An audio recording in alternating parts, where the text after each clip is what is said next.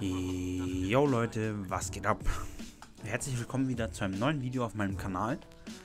Äh, wir haben den 11. Krieg der Saison und bevor wir zum Krieg, zum eigentlichen Krieg kommen, habe ich kurz pausiert. Ihr seht hier, wir sind Platz 10 von Meister insgesamt, also von Platz 20 Meister.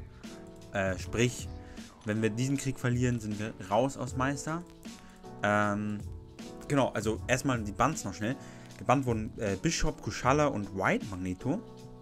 Und wir spielen hier gegen eine asiatische Allianz, Old Driver. Äh, wo sogar ein paar Leute sind, die ich noch kenne von früher, von JD Sessions. Unter anderem Burgers und Ryan Liu. Die waren in meiner KE damals, also in meiner BG. Ähm, ja, Grüße an die auf jeden Fall, äh, wobei die das wahrscheinlich eh nicht sehen werden. Ich habe die im Chat gegrüßt auf jeden Fall.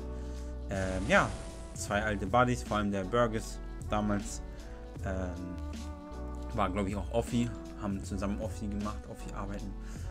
Ähm, naja, auf jeden Fall, äh, aber das ist schon etwas her, zwei Jahre mittlerweile. Der ist danach zu TCN, glaube ich, und jetzt mittlerweile ist er halb im Ruhestand. Wobei ich gesehen habe, er hat das letzte BG-Season Top 10 oder so geschafft. Oder war da auf jeden Fall lange immer im Top 10 Bereich.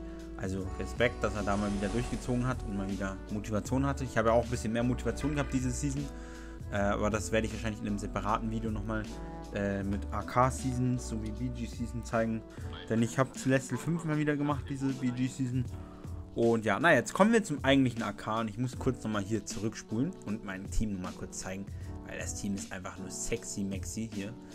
Äh, wir haben nämlich Colossus mit Omega Red und Juggernaut. Und diese, dieses Trio ist einfach OP. Juggernaut und Colossus haben eine richtig geile Synergie. Die Synergie mit Colossus und Omega Red kennt ihr. Omega Red werde ich jetzt aber nicht verwenden, ist auch nur Rang 4. Ich weiß auch nicht, gar nicht, warum ich den auf Rang 4 gemacht habe. Den spiele ich nie. aber äh, ja. Aber auf jeden Fall Juggernaut und Colossus haben nochmal zusammen Synergien jeweils, um die Crit-Chance äh, zu erhöhen. Ich weiß nicht, extrem nicht, aber um einiges auf jeden Fall. Und dann zusätzlich noch eine Synergie. Ich weiß nicht, was es für Koloss nochmal bringt. Äh, irgendwas bringt es ihm auch. Aber für Juggernaut, er fängt mit drei Unstoppables an. Ähm, ja, das ist ganz äh, hilfreich. Dann hat man von Anfang an, unter anderem in unserem Matchup wird es auf jeden Fall einiges bringen, hat man von Anfang an äh, Unstoppable und kann dann gegen Intercepten leicht. Ähm, naja, auf jeden Fall, wir kommen hier zum ersten Matchup. Auf jeden Fall, wir haben, ach so, noch ganz kurz, wir haben Weg 1 im ersten Abschnitt. Und im zweiten Abschnitt haben wir Weg 9. Ähm, genau, wir boosten ab. Ähm, und ja, wir haben hier, glaube ich, auch einige Fights diesmal. Ich glaube, 8 oder 9 Stück. Ich bin mir gar nicht sicher. Ich glaube, sogar 9 Stück. Und ja, lehnt euch zurück und genießt die Show, denn wir haben wieder Colossus Time. Yes mein Lieblingschamp diese Season 100% Colossus. Wobei ich bin ein Mensch, ich oder ein Spieler, ich äh, spiele ich gerne jedes, äh, in jedem AK dieselben Champs. Aber ja, hier auf jeden Fall gegen Weapon X im ersten Kampf. Ich habe überlegt, Juggernaut zu benutzen wegen den Region Buffs zuerst, aber ich habe mich dann doch später für Colossus entschieden.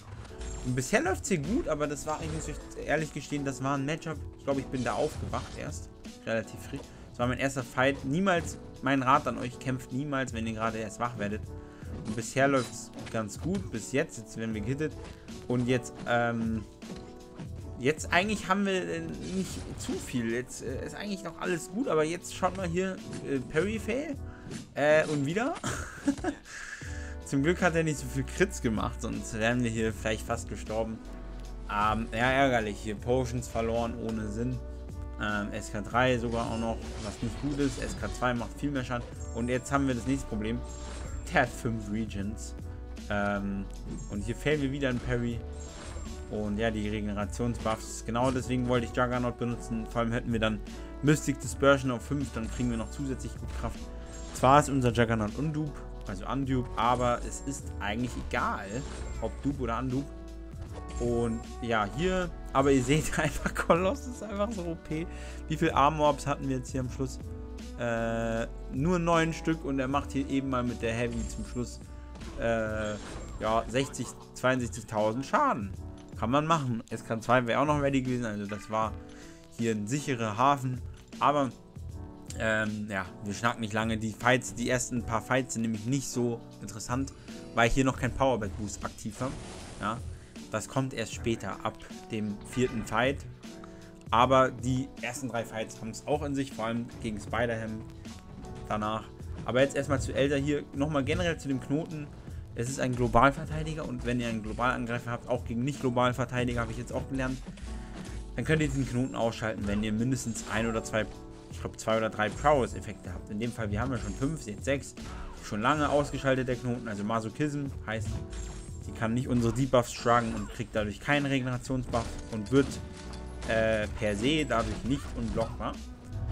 Und ja, hier, es ist einfach nur lustig. Ähm, die Heavys, ich weiß auch gar nicht, warum wir hier nicht so hochgehalten haben. Ich glaube, weil wir jetzt genau, äh, wir haben ja hier Oden Buffs auf uns. Die brauchen wir nämlich noch für jetzt, also insgesamt drei Fights. Einmal hier die auf Weg 9, die zwei Fights und dann noch ein Mini-Boss, ich glaube Nick Fury. Und generell auch hilfreich, diese äh, Pre-Fights, äh, für falls wir mal getroffen werden. Jetzt heilen wir uns, glaube ich, sogar doch, weil wir hier gegen Spider-Ham für den Fall, dass wir eine SK2 blocken oder unblockable äh, in die Fresse kriegen, dann, dass wir nicht sterben davon. Aber unser Plan war es hier soweit nur Parry Heavy zu machen, ohne SKs. Denn äh, Spider-Ham kriegt SKs. Äh, ich meine, macht Power Sting bei uns. Und ja, eigentlich wäre es noch besser gewesen, hätte ich die SK1 immer gespammt. Aber auch nicht so unbedingt notwendig, denn Colossus seine Heavy äh, kann nicht, seiner Heavy kann nicht ausgewichen werden. Heißt, hier ohne Probleme, wir können hier immer Parry Heavy machen. Ähm, und ja, jetzt, jetzt, chillen wir hier ein bisschen. Und wir, wir haben deswegen nicht vollgehalten, weil wir hier durch die Schock-Debuffs und alles äh, uns wieder hochheilen und auch generell Spider-Ham-Buffs, äh, Debuffs hier, zum Beispiel dieser Debuff, äh, heilt uns auf jeden Fall hoch. Ähm, ja, und ich glaube, jetzt ist auch schon das Matchup vorbei. Ah, nee. Kein, schlechtes Crit-Angie und der, äh, dieser Debuff, der auf uns war, verringert unseren Angriff.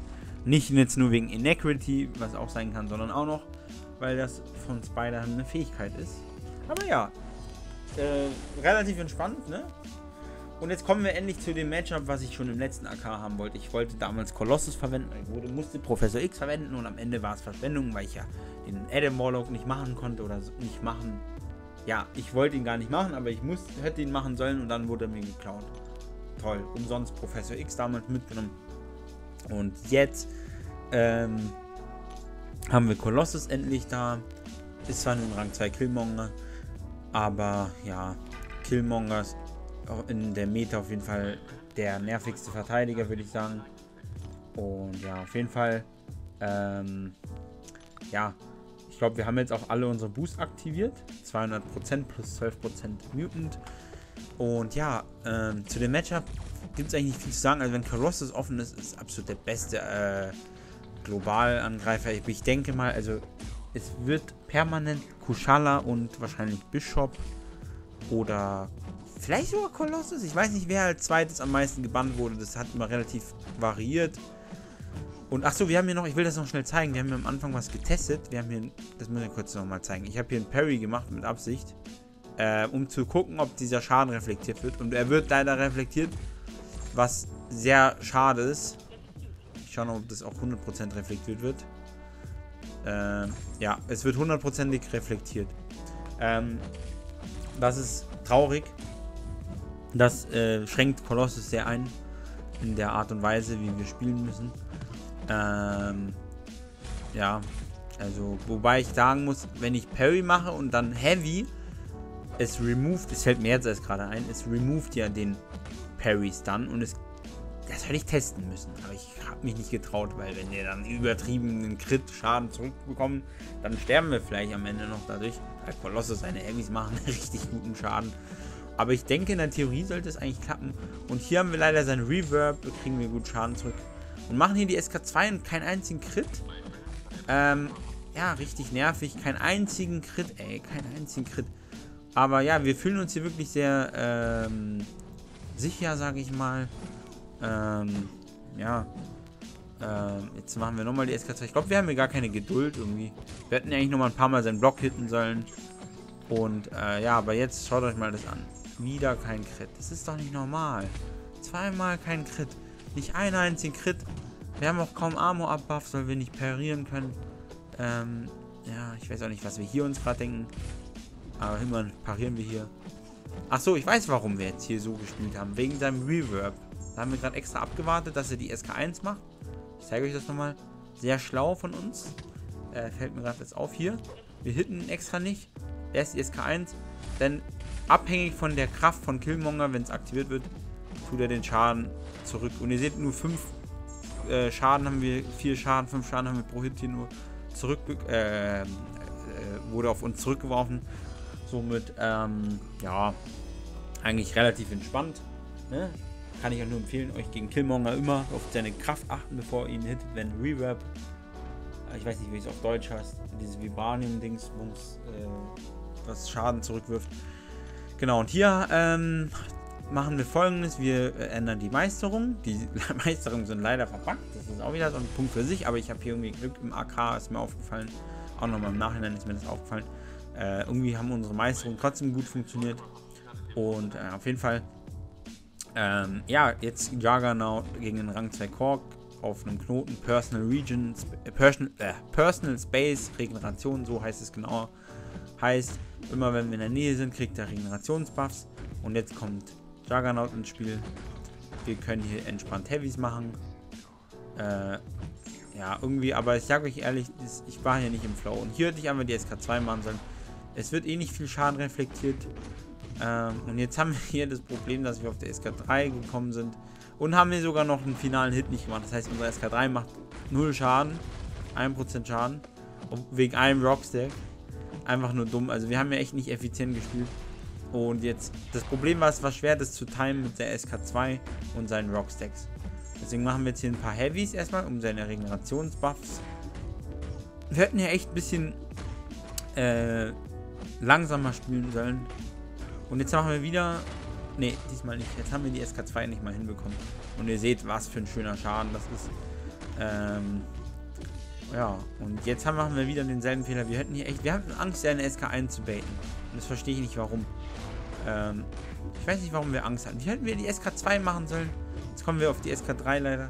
Also zweimal SK3, es nimmt echt viel äh, Zeit. Aber das Gute ist, äh, er wird gestunt. Jetzt machen wir noch ein paar Heavies, oder? Ne, nur eine. Wegen äh, diesen Regenerationsbuffs auf jeden Fall immer ein bisschen nervig hier zum Knoten. Also ich kann euch empfehlen, Dr. Doom und vor allem CGR sind am besten äh, für den Fight. Und jetzt haben wir wieder drittes Mal SK3. Mann, hat mich das genervt. Wir haben nur einmal geschafft, die SK2 richtig zu timen. Der Kampf könnte hier schon lange vorbei sein können. Schon lange. Und ja, jetzt langsam geht uns die Geduld äh, zur Neige. Ich glaube, jetzt machen wir einfach sogar Heavies in der Luft gleich.